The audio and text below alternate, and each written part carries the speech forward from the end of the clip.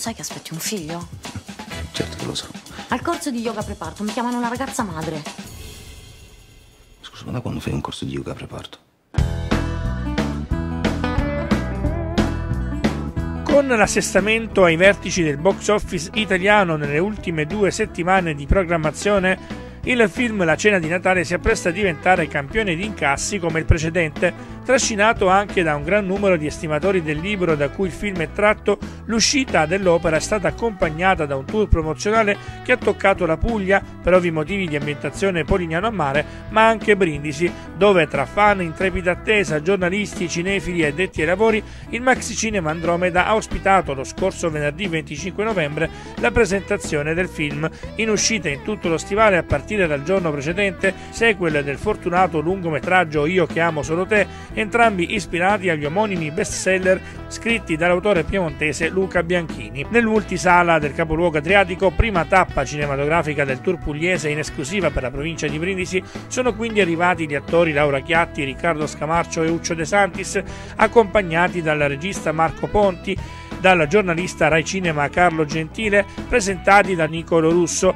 Tra loro anche Luca Bianchini che ha fatto il suo ingresso nella sala di proiezione per un saluto agli spettatori. Eh, e sono felice, la Puglia ci vuole bene, non solo la Puglia, e questo credo che sia il segreto di questa storia, che è una storia molto pugliese, ma in realtà in cui si sono ritrovati tutti, perché poi davanti a tavola noi italiani siamo un po' tutti uguali, soprattutto in occasioni importanti come il Natale, dove il momento in cui si fa il punto della propria vita sembra che tutto vada bene e invece vengono fuori tutte le magagne, e poi qua è particolarmente. Velocemente, ci ripeti qual è l'aneddoto che ha fatto nascere la cena di Natale? La cena di Natale è nata perché grazie a Marco Ponti che è regista del film, perché io avevo parlato di Io che amo solo te, di Ninella, Don Mimì, Chiara, Damiano, questi personaggi così a lungo in giro per tutta l'Italia ed erano così parte eh, della vita dei lettori, che erano 300.000, e che Ponti mi ha detto ma perché non fai una cena di Natale dove li metti tutti insieme seduti?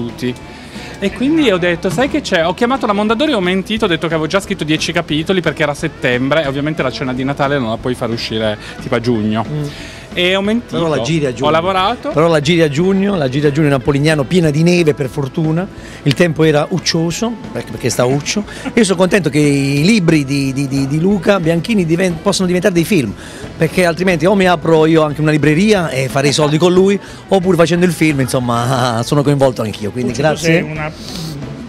Diciamo, una pietra miliare di questo film, sei un, no, un sacerdote. Eh no, no, il sacerdote è importante, sacerdote. è importante nel paese perché è colui che sa tutto, di solito sa tutto, perché scopro che, anche io ho scoperto guardando il film, che c'è un qualcosa, un particolare che è sfuggito anche a Don Gianni in questo film, tutta una sorpresa, tutto da, da, da vedere e da gustare. Il film richiama perfettamente il libro, ma con l'aggiunta di qualche elemento in più per esigenze di sceneggiatura celebra amori, tradimenti e litigi in un turbinio di situazioni limite, come spiegato dal regista Marco Ponti. L'obiettivo nostro è tentare di raccontare bene una storia che è basata su delle emozioni, emozioni che sono le emozioni romantiche, le emozioni comiche e un mix molto molto delicato. Questo è l'obiettivo nostro, se poi il pubblico ci segue e beh quello è un bel privilegio. Con Luca Bianchini collaboriamo da sempre, da, da che ci conosciamo ai tempi dell'università, per cui ci scambiamo le idee, i progetti, anche prima ancora che sappiamo che cosa possono diventare.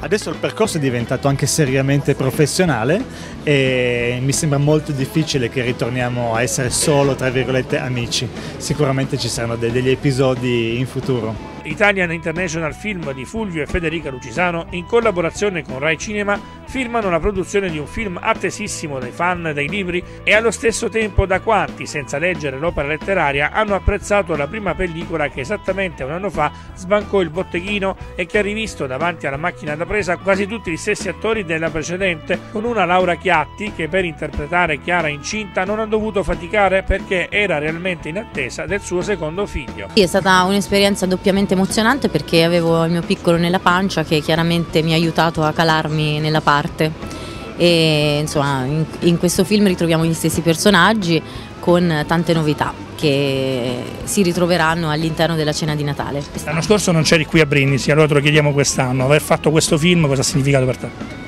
Beh, eh, è, è, stato molto bello perché comunque c'era in previsione il seguito di Io chiamo solo te e ero un po' preoccupata appunto perché avevo il pancione, invece nel libro credo che Chiara fosse incinta di due settimane, quindi abbiamo posticipato tutto e adattato tutto insomma alla mia condizione e alla fine è andato tutto molto bene. Riccardo Scamarcio, partner della Chiatti nel film, torna quindi a vestire i panni di Damiano, personaggio che continua a fare danni sia sul lavoro, dove puntualmente trascura gli insegnamenti del patriarca Don Mimì, interpretato da Michele Placido, sia in privato, dove non riesce a resistere alla passione clandestina per Deborah, ruolo interpretato da Giulia Elettra Gorietti. Abbiamo ripreso gli stessi personaggi, il film ehm, è uno spin-off, cioè un film che sta in piedi anche se uno non ha visto l'altro, per cui diciamo quelli che non hanno visto il film l'anno scorso possono tranquillamente venire quest'anno a guardare questo film e, e, poi magari dopo a casa si vedono l'altro. Ecco. Visto su Striscia Notizia qualche papera, vi siete divertiti durante questo forse più anche del primo, eravate un po' più rilassati. No, no, no, no io ero, devo dire, rilassato anche nel primo. Ehm, chiaramente Laura, che è la mia partner in questo, in questo viaggio ormai, duplice viaggio, ehm, con Marco Ponti, regista, devo dire, insomma, abbiamo, ci conosciamo bene, ma anche con gli altri attori, con Placido mi ha diretto varie volte, son, abbiamo fatto film insieme, quindi sono tutte persone, stesso Marco Ponti aveva scritto eh, la sceneggiatura di un film che avevo fatto molti anni fa che si chiamava L'uomo perfetto, quindi lo conoscevo da, da anni. Diciamo Lucisano e la produttrice sono persone che conosco da, da tempo e quindi anzi la scelta di rilavorare insieme nasce proprio dal, dal fatto che c'è un feeling. Ecco. Tra confessioni inattese, partenze rimandate, dichiarazioni romantiche e menù interminabili, il seguito di Io che amo solo te, immerso nel clima effervescente delle festività, regala la stessa atmosfera fatata di Polignano a mare, impreziosita in questa occasione da una inaspettata nevicata. Insomma, per la coppia protagonista Damiano Riccardo Scamarcio e Chiara Laura Chiatti si prospetta una dolce attesa, ma mentre lei ormai all'ottavo mese ce la mette tutta frequentando corsi preparto e sopportando le reiterate assenze del consorte, lui si dà al tradimento. Le tristi verità usciranno fuori tutte proprio in occasione della cena di Natale, organizzata dalla mamma di Damiano in casa sua tra gag irresistibili e scoppiettanti colpi di scena. Qualcuno mi ha rubato l'anello. Sbaglio siamo un poco nervosette, signorina? Mamma! Spartito, eh? Peluche. Rispondi al cellulare, Nancy, che ti vibra. Pronto, Tony?